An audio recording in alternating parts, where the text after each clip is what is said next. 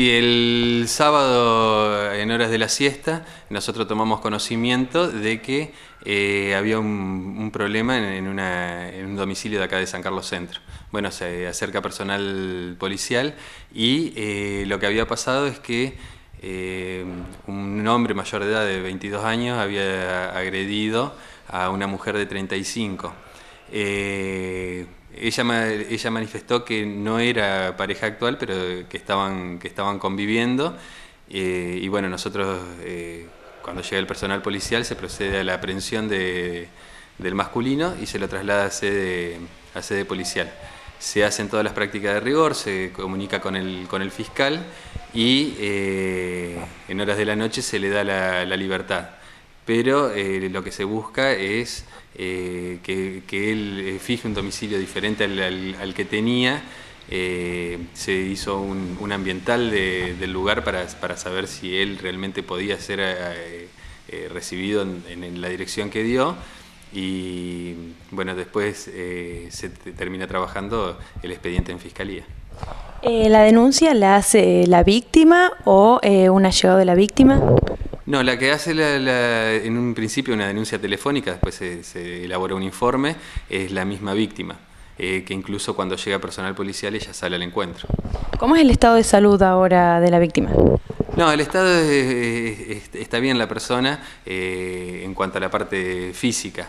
Eh, si, bien, si bien hubo, hubo lesiones, no fueron de consideración. ¿Hay alguna orden de restricción a partir de ahora por parte del agresor hacia la víctima?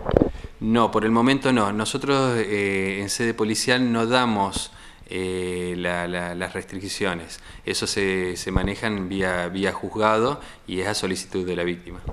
Eh, bueno, ¿cómo está caratulada la causa y cómo continúa la investigación de ahora en más? la causa está caratulada lesiones leve dolosas y bueno, ya se, en, un primer momento lo que se hace, se hace cesar la, la agresión aprendiendo al, en este momento al imputado y después eh, lo que se sigue es la parte, la parte procesal.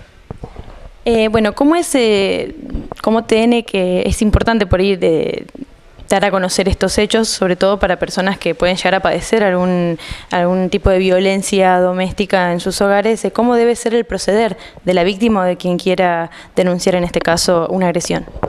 Y lo, lo, lo, mejor que puede hacer es ante cualquier tipo de agresión acercarse a la comisaría y erradicar la, la denuncia.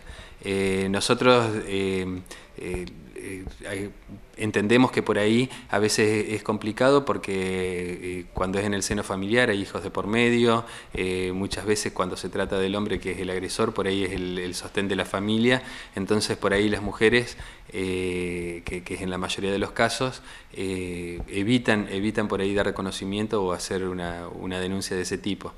lo que nosotros recomendamos es que siempre se acerquen a la, comisaría para, para denunciar por lo menos para que, para que cese esa, esa agresión.